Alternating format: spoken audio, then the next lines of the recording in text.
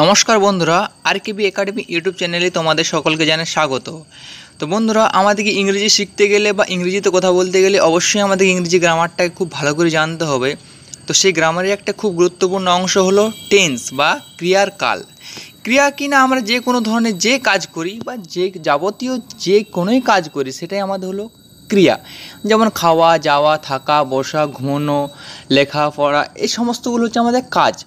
তো টেন্স সম্পর্কে আমি একটা পার্ট ওয়ান ভিডিওতে আলোচনা করেছি। হ্যাঁ তো সেখানে প্রেজেন্ট টেন্স সম্পর্কে আলোচনা করা হয়েছে। তো সেই ভিডিওটা যদি তোমরা দেখে না থাকো, ওটা তোমরা দেখে নেবে। তার লিঙ্ক আমি ডিসক্রিপশন বক্সে দিয়ে দিয়েছি, সেখান থেকে তোমরা দেখে নেবে। তো টেন্স কি? আগের ভিডিওতে বলেছি, আবার আমি এই ভিডিওটা তো বলছি, একটু তোমরা দেখে নাও টেন্স হলো কোনো কাজ সম্পাদনের সময়কে টেন্স বলে। মানে টেন্স হচ্ছে আমাদের একটা যে কোনো কাজ করি, সে কাজের একটা নির্দিষ্ট সময় থাকে। সে সময়টা হলো আমাদের টেন্স তো এই যে একটা একটা করে উদাহরণ দেওয়া হচ্ছে আই ইট রাইস আমি ভাত খাই। এটা হচ্ছে প্রেজেন্ট টেন্স বা বর্তমানকাল আই এট রাইস আমি ভাত খেয়েছিলাম, এটা হচ্ছে পাস্ট টেন্স বা অতীতকাল, আর আই উইল ইট রাইস এটা হচ্ছে আমাদের ফিউচার টেন্স বা ভবিষ্যৎকাল। আমি ভাত খাব।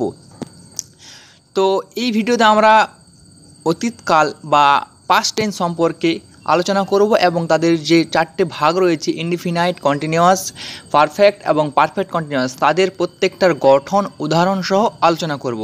তো তোমরা ভিডিওটা শেষ পর্যন্ত দেখে নেবে এবং দেখলে তোমাদের এই যে টেন্স পাস্ট টেন্সের গঠন, প্রত্যেকটার ভাগের যে গঠনগুলো রয়েছে, সেগুলো তোমরা খুব সহজে বুঝতে পারবে। তো আমরা সেই চারটাকে আজকে আরেকবার দেখে নেব, তাহলে আমাদের মনে থাকবে বা বুঝতে একটু সুবিধা হবে। তো চলো সেই চারটাকে একবার আমরা দেখে নিই। তো বন্ধুরা, দেখতে পাচ্ছ, এই হলো আমাদের সেই চার্ট যে চার্টে প্রত্যেকটা টেন্সের প্রত্যেকটা করে যে ভাগগুলো রয়েছে, চারটে চারটে করে, সে ভাগগুলো সম্পর্কে এখানে দেওয়া হয়েছে। এই চারটা তোমরা দেখে নাও আর পারলে স্ক্রিনশট করে নাও।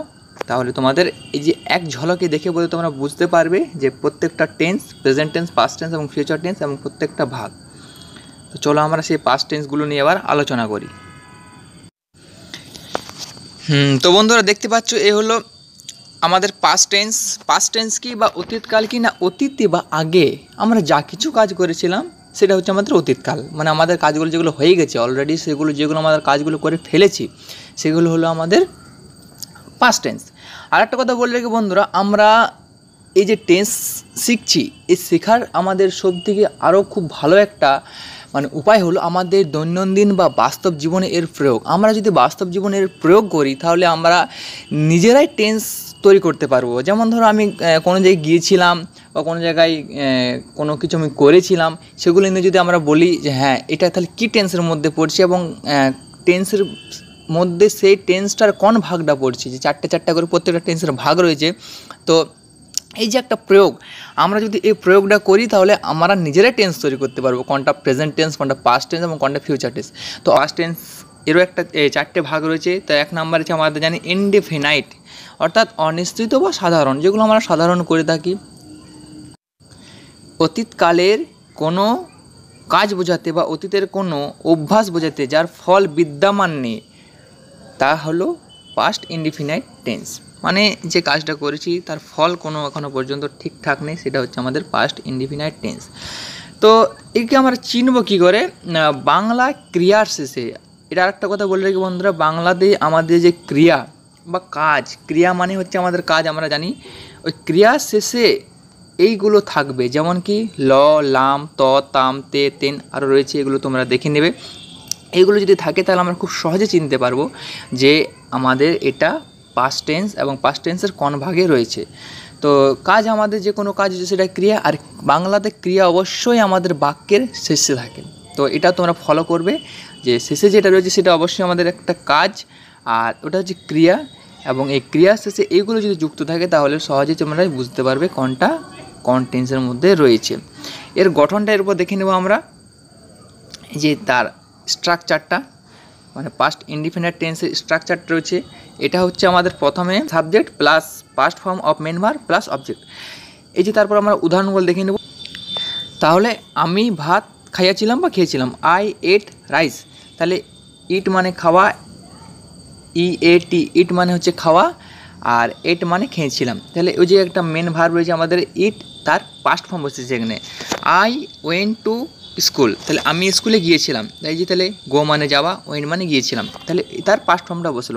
আরও উদাহরণগুলো রয়েছে বন্ধুরা, তোমরা এগুলো একটু দেখে নেবে। এর তারপর একটা তোমরা নোট দেখে নাও যে আমাদের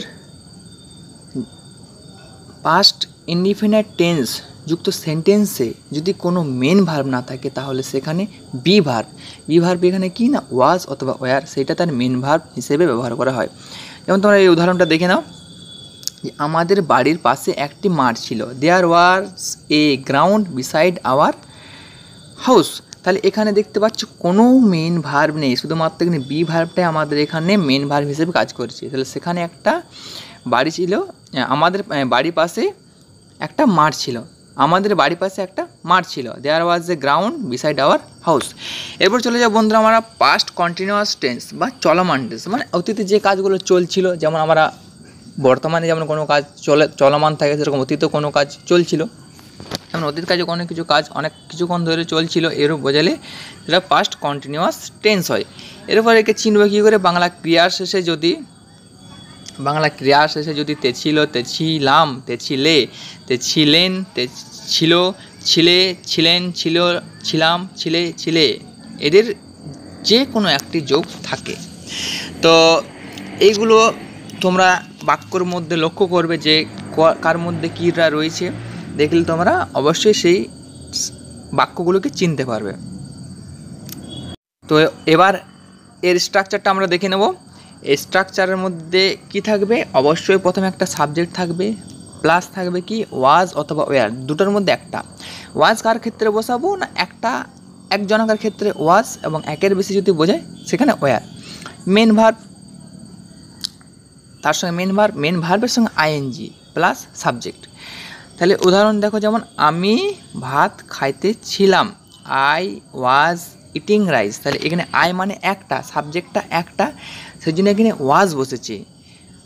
তার সাথে মেন ভার্বের সাথে আইএনজি যুক্ত হয়েছে এবং শেষে আমাদের অবজেক্ট বসেছে। তাহলে আই ওয়াজ ইটিং রাইস আমি ভাত খাইতেছিলাম। He was going to school তাহারা he was going to school say school যাইতেছিল বা যাচ্ছিল, তাহারা ফুটবল খেলিতেছিল। তাহলে দে ওয়ার দেখো এখানে ওয়ার বসেছে। এখানে কেন ওয়ার বসেছে না? একের বেশি অনেকজনকে বোঝাচ্ছে, তাই সেখানে এখানে ওয়ার বসেছে। দে আর প্লেইং ফুটবল, তাহারা ফুটবল খেলিতে ছিল। এরপর আরও উদাহরণ হচ্ছে বন্ধুরা, এগুলো তোমরা দেখে নেবে। এরও নোট যেটা বললাম আমরা, এই যে ওয়াজ ওয়ারের ব্যবহারটা কীভাবে করব, তো এটা একটু তোমরা এই নোটটা দেখে নেবে যে কোথায় ওয়াজ বসাবো এবং কোথায় ওয়ার বসাবো। সাবজেক্ট সেটা যদি আমাদের ফার্স্ট পার্সন হয় এবং থার্ড পার্সন হয়, এবং অবশ্যই যদি সিঙ্গুলার নাম্বার হয় সিঙ্গুলার মানে একটা, তবে সেখানে ওয়াজ বসবে এবং উই, ইউ, দে এবং অন্যান্য সব প্লুরাল ক্ষেত্রে শেষে ওয়ার বসবে। এটা তোমরা একটু দেখে নেবে নোটটা। তারপরে আছে past perfect tense past perfect টেন্সটা অনেকের বুঝতে অসুবিধা হয়, কিন্তু পাস্ট পারফেক্ট টেন্সটা এতটা অসুবিধা নয় যেটা একদম বোঝাই যাবে না। তো এটা খুবই সহজ। যেমন অতীতকালে যদি আমাদের দুটি দুটি ঘটনা থাকে, যে ঘটনাটি আগে ঘটেছিল, সেটার পাস্ট পাস্ট পারফেক্ট টেন্স হয়। তাহলে অতীতকালে দুটি কাজ সম্পন্ন হয়ে থাকলে তাদের মধ্যে যে কাজটি আগে ঘটেছিল, সেটি পাস্ট পারফেক্ট টেন্স হয় এবং যেটি পরে হয়েছিল সেটি সিম্পল পাস্ট বা পাস্ট ইনডিফিনাইট টেন্স হয় বলতে গেলে। তাহলে এরপর আমরা তার তাকে চেনার উপায়গুলো দেখে নেব যে কীভাবে আমরা এই পাস্ট পারফেক্ট টেন্সটাকে চিনব। এই যে বাংলা ক্রিয়া শেষে যদি এইগুলো যুক্ত থাকে, এগুলো একটু দেখে নেবে। তোমরা ছিল, ছিলাম, ছিলে, তাহলে সেটা অবশ্যই পাস্ট পারফেক্ট টেন্স হবে। তারপর তারা আমার স্ট্রাকচারটাকে দেখে নেব। এখানে বন্ধুরা একটা জিনিস তোমরা খুব ভালো করে নোট করবে। পাস্ট পারফেক্ট টেন্সের ক্ষেত্রে দুটি সাবজেক্ট দুটি অবজেক্ট এবং দুটি ভার থাকবে, অবশ্যই মেন ভার তো ফার্স্ট সাবজেক্ট তার সঙ্গে অবশ্যই হ্যাড হ্যাড যুক্ত হবেই। First subject plus had plus verb এর পাস্ট পার্টিসিপেল একটা ভার্বের তিনটে ফর্ম হয় প্রেজেন্ট পাস্ট পাস্ট পার্টিসিপেল তার পাস্ট পার্টিসিপেল প্লাস বিফোর বসবে। অথবা কখনো কখনো আফটার থাকে, কখনো কখনো হোয়েন থাকে। তো বিফোরটাই বেশি ইউজ হয়, সেই জন্য আমি বিফোরটা দিয়েছি। তারপরে সেকেন্ড সাবজেক্ট প্লাস ভার্ব এর past form plus second object এইটা তোমরা ভালো করে নোট করে নেবে এবং বারবার এটাকে তোমরা প্র্যাকটিস করবে যে কার পর কী বসছে। খুব সহজ আছে, তেমন কোনো কঠিন নেই। তাহলে তো এবার আমরা উদাহরণগুলো দেখিনি, উদাহরণগুলো দেখে নিলে আমাদের জিনিসটা আরও পরিষ্কার হয়ে যাবে। কীরকম না, আমি ভাত খাওয়ার পূর্বে সে বাড়ি আসিল।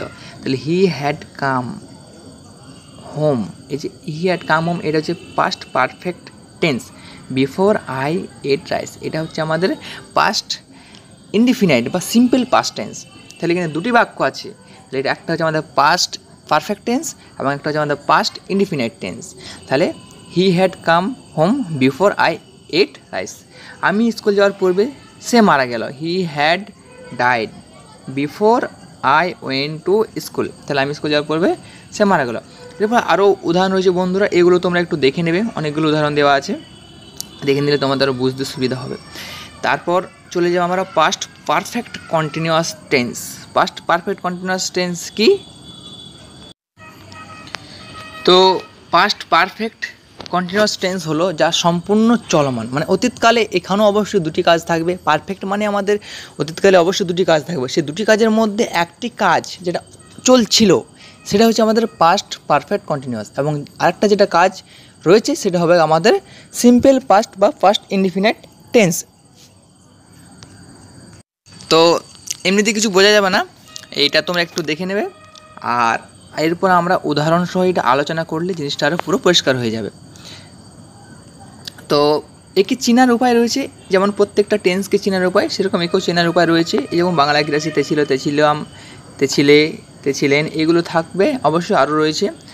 আর একটা তিনটে জিনিস এখানে মনে রাখবে যে অতীতকালে দুটি কাজ হয়েছিল, তাদের মধ্যে একটি পূর্বে এবং অপরটি পরে সংগঠিত হয়েছিল, এবং যেটি পূর্বে সংগঠিত হয়েছিল মানে যে কাজটা আমাদের আগে হয়েছিল, সেটি দীর্ঘ সময় ধরে চলতেছিল বা চলছিল। এরপর আমরা এর গঠনটা দেখিনি গঠনটা ঠিক আমাদের পাস্ট পারফেক্ট টেন্সের মতোই, শুধুমাত্র এখানে দুটি জিনিস যুক্ত হবে। একটা কি? না সাবজেক্ট থাকবে প্রথমে প্লাস হ্যাড এই যে বিন যুক্ত হয়েছে, এই বিনটা এখানে যুক্ত হবে এবং মেন ভার্বের সঙ্গে আইএনজিটা যুক্ত হবে। ঠিক সেরকম আগের মতনই রয়েছে। তার সঙ্গে plus first subject plus when অথবা বিপর থাকবে plus second subject plus verb এর পাস্ট ফর্ম থাকবে প্লাস সেকেন্ড অবজেক্ট থাকবে। এটা তোমরা নোট করে নেবে, তাহলে তোমার এরপর আমরা এর উদাহরণগুলো দেখে নেব। এই যে আমি যখন তার সাথে দেখা করতে গেলাম, তখন সে বই পড়িতে ছিল। আমি যখন তার সাথে দেখা করতে গেলাম, তখন সে বই পড়িতে ছিল। তাহলে হি হ্যাড বিন রিডিং এই যে ই হ্যাড বিন রিড রিডের সঙ্গে আইনি যুক্ত হয়েছে মূল ভাষার সঙ্গে রিডিং বুক এই পর্যন্ত হলো আমাদের first perfect continuous tense first perfect continuous tense when I went to met with him অথবা হার এটা হলো আমাদের সিম্পল পাস্ট বা পাস্ট ইনডিফিনাইট টেন্স তো এরপর বন্ধুরা আরও উদাহরণগুলো রয়েছে। দেখে নাও তোমরা যে তুমি যখন তোমার তুমি যখন তোমার বন্ধুর বাড়িতে গিয়েছিলে, তখন তোমার মা তোমার জন্য অপেক্ষা করিতেছিল। Your mother had been waiting for you when you went to your friends home যখন তুমি তোমার বন্ধুর বাড়িতে গিয়েছিলে, সে যখন খেলা দেখছিল, তখন আমি ঘুমোতেছিলাম তাহলে I had been sleeping I had been sleeping when he saw the game যখন সে খেলা দেখছিল। তো বন্ধুরা, এই হলো আজকে আমাদের পাস্ট টেন্স এর উপর আমরা আলোচনা করব ফিউচার টেন্স সম্পর্কে।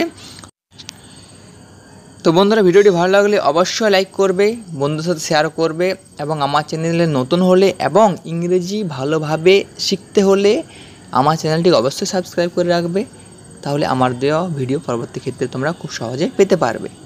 ধন্যবাদ।